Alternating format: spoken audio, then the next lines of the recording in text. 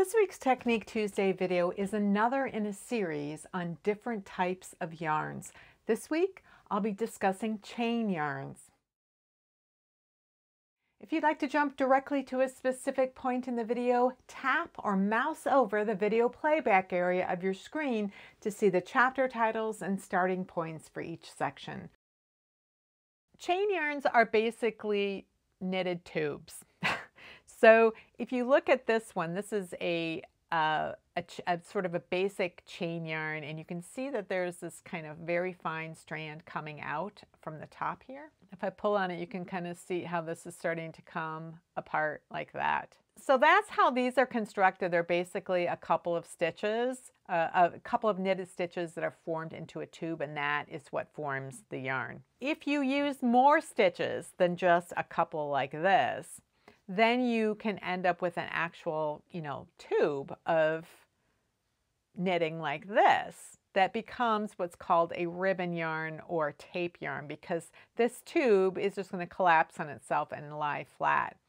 Uh, in this case, this type of ribbon yarn, because it's made from knitting itself, when you wrap it around the needle, it's just going to compress into a more dense tube. And, and it's going to look like um, like stitches, it's going to look like really thick stitches. Then the last type of chain yarn is called blown yarn. And the way this type of yarn is constructed is by using a tube like this, only a much smaller tube made with very fine strands. Uh, and that tube might be made from cotton or nylon or silk.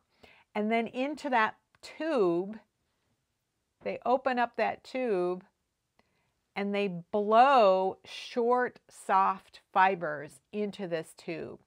And so they, they're fibers that are going to poke out of the openings between the stitches and create a halo effect around the tube. Depending on what the tube is made from and the, what the fibers are that are blown into it and how much room is between the stitches in the tube, you're going to get different sorts of effects. You can see that this green one looks fuzzier than this blue one. So this blue one uses a white cotton tube and then they've blown into it merino fibers. So the, the tube is made from cotton that hasn't been dyed and into the tube are, are blown uh, merino fibers that have been dyed blue. Where this one, it's really hard to see the tube, partly because it's dark, but also because the tube has been dyed. So this one has a nylon tube, and you can kind of see it if I pull it sideways. You might be able to see that there's a, a tube there. And so this tube is nylon and it's dyed to match the fibers that are blown into it. And these fibers are alpaca with a little bit of merino, but the tube itself is nylon.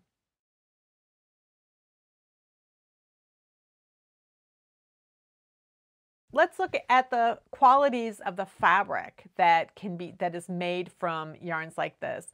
So this is a 70% linen, 30% cotton blend. Both of those yarns are inelastic and they can kind of hurt your hands when you are knitting with them because they just don't have any give. Flax is, which is what linen fabric is made from, is very stiff and uh, when you're knitting with it. And over time, it softens up and it will get more drape. But as you're knitting with it, it can really hurt your hands. And what I noticed with this yarn is that the yarn itself has more drape and um, has a little bit of give to it. This yarn is 100% linen. It doesn't really uh, stretch at all. But this yarn, this um, chain yarn does have a little bit of give to it. And, and one of the things that, that give allows the finished fabric is that it will actually have some more elasticity. It will actually go back into its um, original sh shape a little more uh, than just a regular plied linen yarn would do.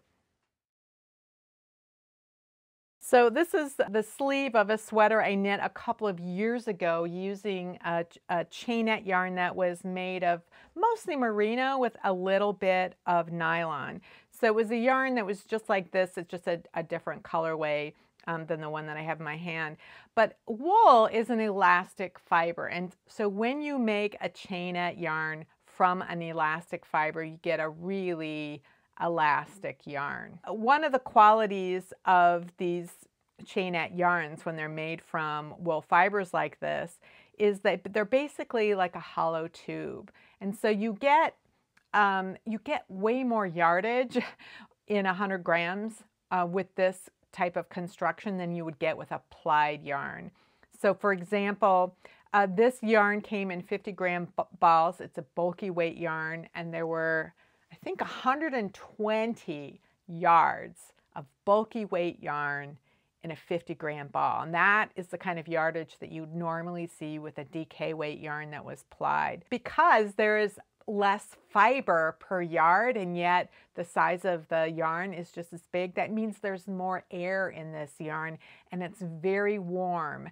So it's warm, but it doesn't like physically weigh as much. So this sweater, which is kind of an oversized sweater made from bulky weight yarn, weighs half as much as it would have weighed if I'd used a plied yarn. Because the yarn is so stretchy, typically you need to use a larger needle when you're knitting with this. So when you're using your normal knitting tension and knitting with it, the stitches will be uh, stretched around a larger needle and then as they come off the needle, they'll stretch back to the correct size. So you need a bigger needle to kind of stretch them out while you're knitting, but as soon as they come off the needles, then they'll go into the, the proper size.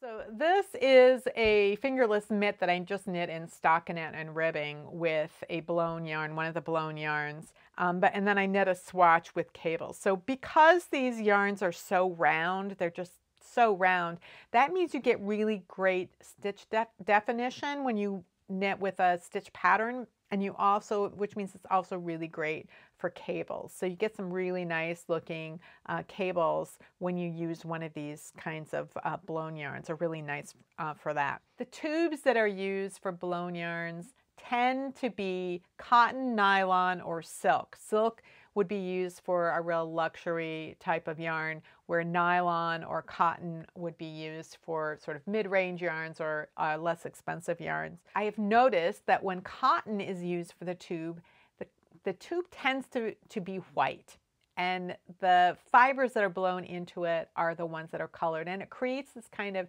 interesting effect. When a nylon or silk tube is used, in my experience, again, may not be always true, um, but when nylon or silk is used as the tube, those tend to be dyed to match the yarn, uh, match the fibers that are blown into it. Now the fibers that are blown into, into these tend to be short staples and they tend to be soft. So blown yarns do tend to be warmer than their plied counterparts because the fibers are kind of loose and in all directions within the tube as opposed to being kind of lined up and twisted together to form a standard plied yarn. Chain yarns provide structure and elasticity to fibers like linen, cotton, and alpaca, which are inelastic and sometimes a bit limp. Wool yarns are warmer and lighter than their plied counterparts when they are formed into a standard chain yarn or blown into a chain tube. Their rounded shape offers great stitch definition for knit purl patterns and cable patterns. There are several good databases for learning more about specific yarns as well as several books. Ravelry has an extensive yarn database where you can learn more about a yarn you have or a yarn called for in a pattern that you would like to knit. Yarnsub.com is an excellent resource for discovering whether one yarn is a good substitute for another. And in addition, I can recommend two books that provide lots of information on different types of yarns and what sorts of projects those yarns are good for. The first book is Clara Parkes The Knitter's Book of Yarns, which explains different yarn types chapter by chapter, including sample projects suitable for those types of yarns. Another is Yarn Substitution by Carol J. Sulcoski, which explains the qualities of different types of yarns and how to determine whether a yarn is an appropriate substitution to use in a particular project. I will include links down in the description for all of these resources. If you have any comments or questions about today's video or suggestions for videos you'd like to see in the future, you can leave those down in the comments below or join the discussion in my Ravelry group, Rox Rocks. Thanks for watching, and I'll see you next week.